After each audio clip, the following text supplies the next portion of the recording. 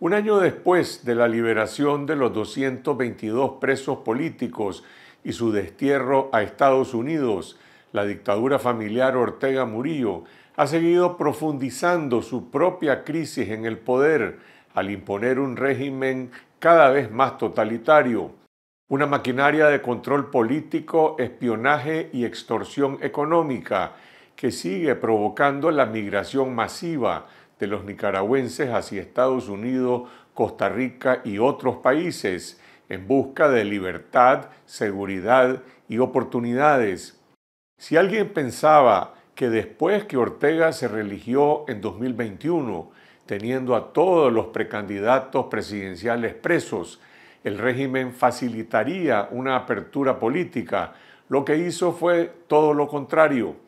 En 2022 arrasó con la sociedad civil, eliminó a todos los gremios y asociaciones y arreció la persecución contra la Iglesia Católica. De la misma manera, después de la liberación de los presos en 2023, tampoco hubo un intento de diálogo para restablecer la estabilidad en el país, sino más bien más dictadura,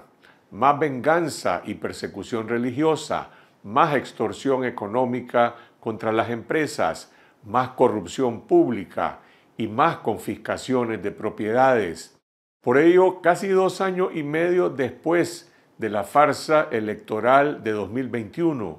la gente que masivamente se abstuvo de votar sigue votando hoy con los pies y se va de Nicaragua porque el régimen no le ofrece ningún futuro a los jóvenes, a los trabajadores, a los profesionales, a los empresarios y ni siquiera a los mismos servidores públicos que trabajan en el Estado.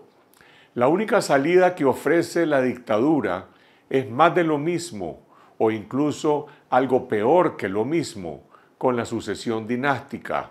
Una sucesión que ya está en marcha con la vocera del régimen barriendo la cúpula del Estado para colocar a sus leales e incondicionales ante el estupor y la incertidumbre entre sus propios partidarios del Frente Sandinista.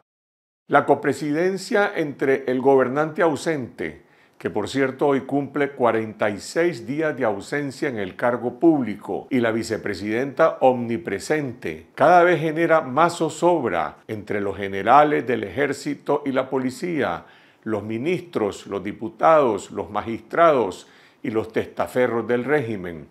Es un modelo fracasado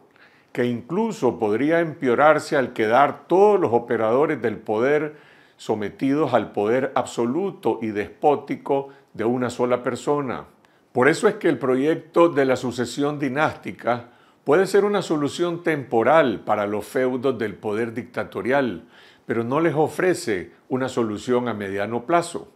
Mientras que para el resto del país, para la mayoría de los nicaragüenses, únicamente significaría más venganza y violencia política. En cambio, la esperanza de un cambio democrático se mantiene intacta como la única salida nacional para iniciar la reconstrucción de Nicaragua con justicia, con desarrollo y prosperidad.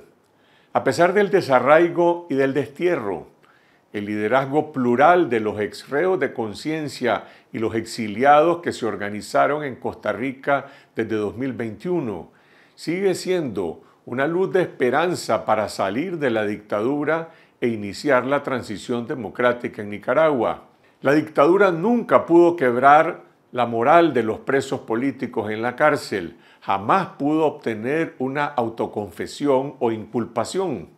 sino más bien la reafirmación de que la lucha por la libertad y la democracia, con justicia sin impunidad, es innegociable. Un año después de la excarcelación de los 222 presos políticos, esa convicción sigue siendo el pilar fundacional de una nueva Nicaragua que se está construyendo paso a paso en la libertad de conciencia y en la resistencia silenciosa en Nicaragua y en la libertad de prensa desde el exilio, que sigue derrotando la censura, pero aún falta restablecer plenamente el derecho a la libertad de expresión sin miedo a la represión. Por ello es imperativo seguir demandando la solidaridad de América Latina y la comunidad internacional para aislar a la dictadura Ortega Murillo hasta que se suspenda el Estado policial para despejar el camino hacia una reforma electoral sin Daniel Ortega ni Rosario Murillo, para celebrar nuevas elecciones libres e iniciar la transición democrática.